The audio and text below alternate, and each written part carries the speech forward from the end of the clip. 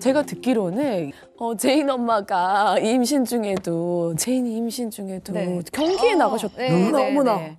음, 제가 아, 그러니까 제인이가 뱃속에 있었을 때는 어, 뭐 그냥 여느 때와 다름없이 좀 몸이 무거워졌다 뿐이고 좀 감수성이 좀 풍부해지고 뭐 그렇다 뿐이지 크게 몸은 힘들진 않았는데 이게 제가 좀 공백기를 이제 아이랑 한 100일 정도 care하다 보니까 제가 그렇게 강하게 썼던 파운드도 이제는 못 당기겠고 네.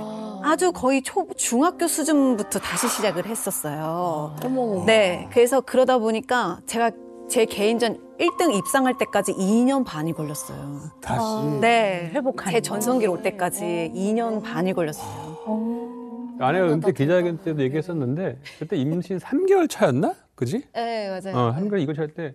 근데 그때 되게 위험한 시기잖아요. 위험하죠. 네, 어. 네, 조심. 근데 대회 나서 1등을 했어요. 네, 네. 그래서 그러고 너 사람이 아니구나 농담으로. 예. 대단했어. 어쨌든 경기는 야외에서 하는 거니까 그 야외에서 하는 그런 활쏘는 감각을 좀 익히려고 2월 말이어도 사실 왜 야외에서 활쏘는 거 진짜 어, 춥거든요. 네.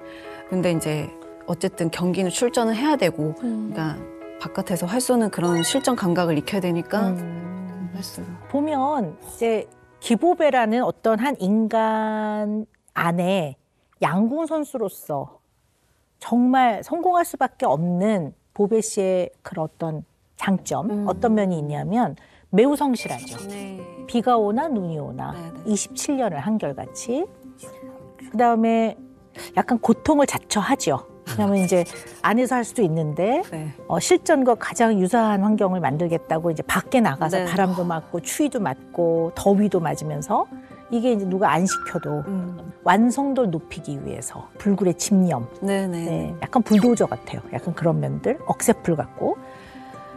어쨌든 우리 보배 씨는 삶 자체가 양궁 선수로서의 좋은 결과를 내기 위해서는 네네. 그리고 그동안의 그 노력이 결실을 맺어야 되잖아요.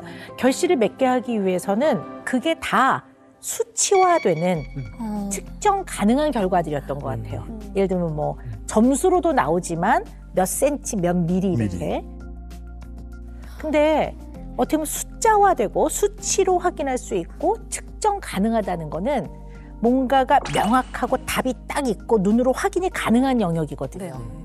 그러니까 그게 훨씬 편안하신 것 같아요. 맞아요. 제 네. 오빠 항상 그런 얘기를 해요. 네. 저는 이제 양궁이니까 어쨌든 목표물이 있는 상태에서 음, 음, 음. 내가 활을 쏘는 거잖아요. 음. 그렇기 때문에 제인 엄마는 그런 이 음. 일상이라든지 그런 개념들이 있는 거고 이 세상을 살아가는 데는 꼭 그런 것만 정확하게 음, 음. 정답이 있는 건 아니다. 항상 저한테 네. 말을 해줘요.